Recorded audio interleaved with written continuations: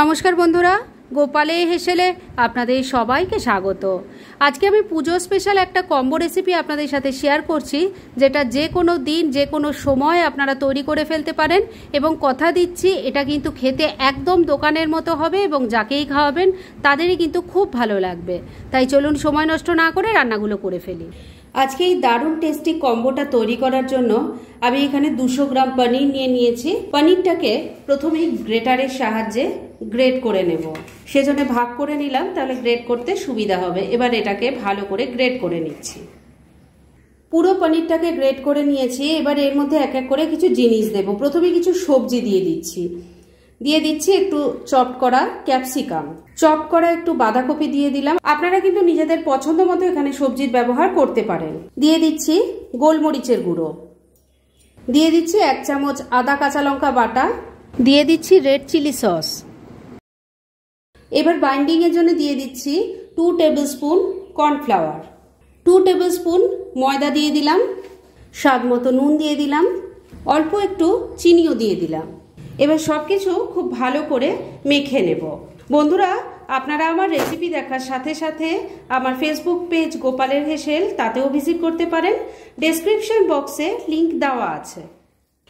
পনিরটাকে খুব ভালো করে স্মুথভাবে মেখে নিয়েছি। এবার এর থেকে ছোট ছোট করে বল তৈরি করে নিচ্ছি। দেখুন, আমি এই সাইজের বল তৈরি করছি, তবে আপনারা চাইলে এর থেকে আরেকটু বড় বা ছোটও তৈরি করতে পারেন। এবার তাহলে পুরো মিক্সারটা থেকে এইভাবে তৈরি করে নিয়ে তারপর নেক্সট স্টেপের দিকে এগোচ্ছি।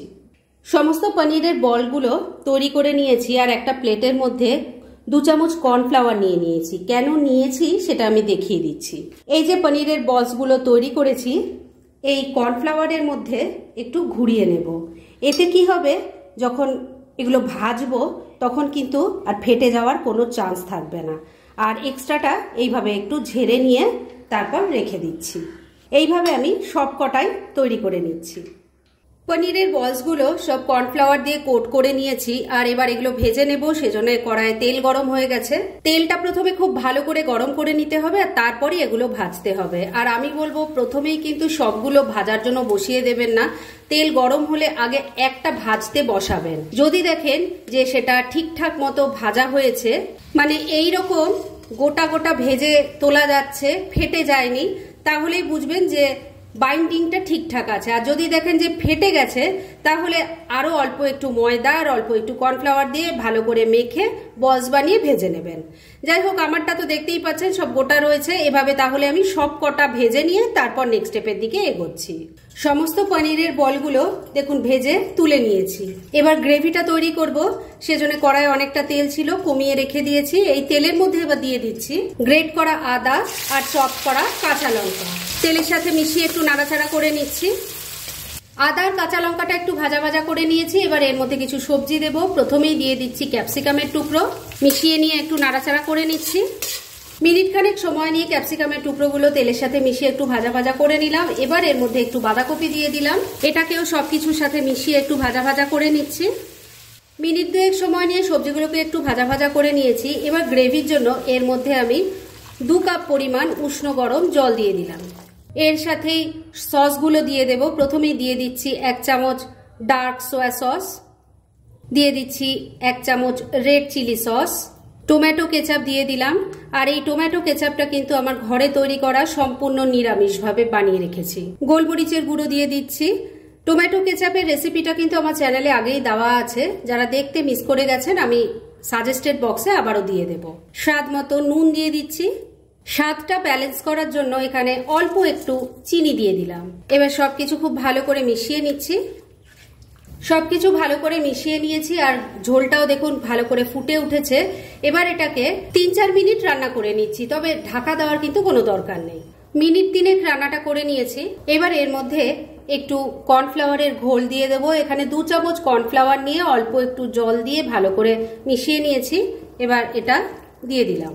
ভালো করে মিশিয়ে নিচ্ছি। কর্নফ্লাওয়ারটা ভালো করে মিশিয়ে নিয়েছি, এবার মিনিট দুয়েক আবারও ফুটিয়ে নিচ্ছি।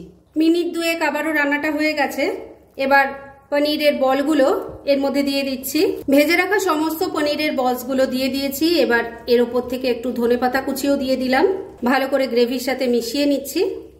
সবকিছু ভালো করে মিশিয়ে নিয়েছি, এবার ফ্লেমটাকে মিডিয়ামে রেখেই মিনিট তিনেক আবারও রান্নাটা করে নিচ্ছি। মিনিট দুয়েক রান্নাটা করে নিয়েছি, এবার পনির মাঞ্চুরিয়ান কিন্তু পরিবেশনের জন্য একদম রেডি তবে এটাকে এখন আপাতত ঢাকা দিয়ে রেখে দিচ্ছি, আর এর সাথে যে সাইড ডিশটা তৈরি করব সেটা বানিয়ে নিয়ে দুটো একসাথে সার্ভ করে দেখাচ্ছি। পনির মাঞ্চুরিয়ানের সঙ্গে আপনারা ফ্রাইড রাইস পরিবেশন করতে পারেন, তবে আজকে আমি মিক্স ভেজ চাউমিন তৈরি করছি এবং সেটাও কিন্তু একদম স্ট্রিট স্টাইল। নুডলসটা সেদ্ধ করে নিতে হবে, সেজন্য কড়াইয়ে অল্প জল বসিয়ে দিয়েছি গরম হওয়ার জন্য। এর মধ্যে অল্প নুন দিয়ে দিলাম, দিয়ে দিচ্ছি অল্প তেল। ভালো করে মিশিয়ে নিচ্ছি, আর এবার জলটাকে খুব ভালো করে ফুটিয়ে নিচ্ছি। জলটা ভালো করে গরম হয়ে গেছে, এবার এর মধ্যে আমি এক প্যাকেট নুডলস নিয়েছি, সেটা দিয়ে দিলাম। ভালো করে মিশিয়ে নিচ্ছি, আর এই নুডলসটাকে এবার সেদ্ধ করে নেব। তবে সেদ্ধ মানে কিন্তু ফুল সেদ্ধ করে নেবেন না, তাহলে কিন্তু গলে যাবে এইটি পার্সেন্ট মতো কুক করে নিতে হবে। নুডলসটা সেদ্ধ হয়ে গেছে। এবার গ্যাসটা বন্ধ করে দিলাম। আর এবার এটাকে আমি নামিয়ে নেব। গরম জলটা ফেলে দিয়ে ঠান্ডা জলে দুবার ধুয়ে নিয়ে তারপর নেক্সট স্টেপের দিকে এগোচ্ছি। বয়েল করা নুডলসটা ভালো করে ধুয়ে নিয়ে একটা বড় ছিদ্রযুক্ত থালার মধ্যে রেখে দিয়েছি। আর এবার একটা কড়াইয়ের মধ্যে তেল গরম করে নিয়েছি। এর মধ্যে এবার প্রথমেই দিয়ে দিচ্ছি থেতো করা আদা আর কাঁচা লঙ্কা। তেলের সাথে মিশিয়ে একটু নাড়াচাড়া করে নিচ্ছি। এবার এর মধ্যে এক এক করে কিছু সবজি দেব। প্রথমে দিয়ে দিচ্ছি সরু সরু পাতলা করে কাটা গাজর। ভালো করে মিশিয়ে নিচ্ছি। স্লাইস করা গাজরটাকে তেলের সাথে মিশিয়ে নিয়ে মিনিট খানেক একটু নাড়াচাড়া করে নিয়েছি। এবার ক্যাপসিকাম দিয়ে দিলাম, এটাকেও ভালো করে মিশিয়ে নিচ্ছি। এবার দিয়ে দিচ্ছি চপ করা বাঁধাকপি, এটাকেও ভালো করে মিশিয়ে নিচ্ছি। মিনিট দুয়েক সময় নিয়ে আবারও বাঁধাকপিটাকে সব কিছুর সাথে মিশিয়ে একটু ভাজা ভাজা করে নিয়েছি। এবার এর মধ্যে এক এক করে আমি কিছু জিনিস দেব। প্রথমে দিয়ে দিচ্ছি একটু গোলমরিচের গুঁড়ো, দিয়ে দিচ্ছি soya sauce, red chilli sauce দিয়ে দিচ্ছি দিয়ে দিচ্ছি টমেটো কেচাপ। স্বাদ মতো নুন দিয়ে দিচ্ছি। তবে নুনটা কিন্তু খুব বুঝে দেবেন, কেননা সসের মধ্যেও নুন থাকে। অল্প কয়েকটা দানা চিনি দিয়ে দিলাম। সবকিছু খুব ভালো করে মিশিয়ে নিচ্ছি। সবকিছু খুব ভালো করে মেশানো হয়ে গেছে, এবার সেদ্ধ করা নুডলসটা দিয়ে দিলাম। একবারে পুরো নুডলসটা কিন্তু দেইনি, অল্প অল্প করে দিয়ে ভালো করে এভাবে মেশাতে হবে। নুডলস এবার পরিবেশনের জন্য একদম রেডি গ্যাসটা বন্ধ করে দিলাম। তাহলে এবার দুটো রেসিপি একসাথে সার্ভ করে আপনাদের দেখাচ্ছি। ফ্রেন্ডস আমার আজকের এই দুর্দান্ত স্বাদের কম্বো রেসিপি একদম রেডি হয়ে গেছে এবং আমি সার্ভ করে দিয়েছি। ভীষণ ইজি রেসিপিগুলো কিন্তু যেভাবে আমি তৈরি করেছি, ঠিক সেইভাবে স্টেপ বাই স্টেপ যদি আপনারা তৈরি করেন খেতে কিন্তু অসাধারণ হবে এবং যাকেই খাওয়াবেন তারই কিন্তু খুব ভালো লাগবে খেতে। তাই দেরি না করে পারলে এটা আজই একবার ট্রাই করে ফেলুন আর তারপর কেমন লাগল সেটা প্লিজ কমেন্ট করে জানাবেন। এরকম ধরনের অনেক ভালো ভালো নিরামিষ রান্নার রেসিপি আপনারা গোপালের হেসেল সার্চ করলেই পেয়ে যাবেন, যার মধ্যে থেকে কিছু কিছু আমি সাজেস্টেড বক্সেও দিয়ে দেব, সেখান থেকেও আপনারা দেখে নিতে পারেন। তাই গোপালের হেসেল অবশ্যই ভিজিট করুন।